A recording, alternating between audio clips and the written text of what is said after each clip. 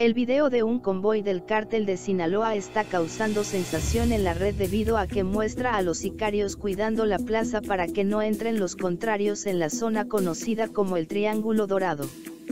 El Triángulo Dorado no solo es famoso por estar conformado por densas montañas y sus cultivos ilegales de amapola, sino también por ser el lugar en el que nació una de las generaciones más violentas de narcotraficantes mexicanos.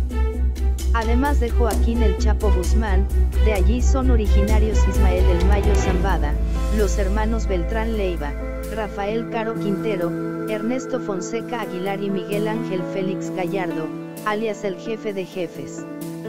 Aunque hubo un tiempo en el que la producción de heroína que consumía Estados Unidos provenía de Colombia, tras la caída de los cárteles colombianos, a mediados de los 90, el mercado pasó a ser controlado por los mexicanos,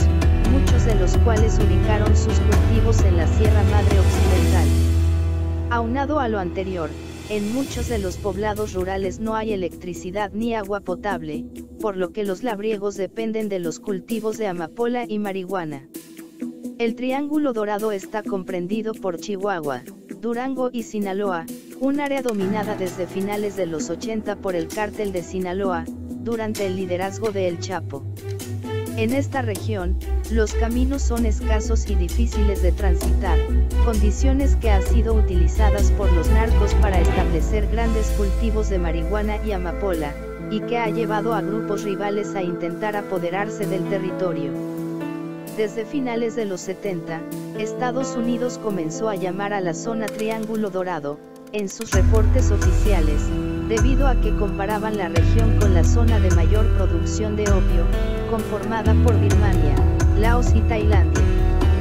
Recientemente, un convoy de sicarios, presuntamente del cártel de Sinaloa, fue exhibido, a través de redes sociales, con un video en el que aparece patrullando los caminos de terracería.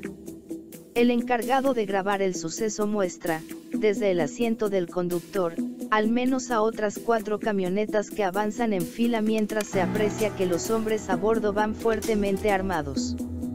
Más información en el blog del narco.com.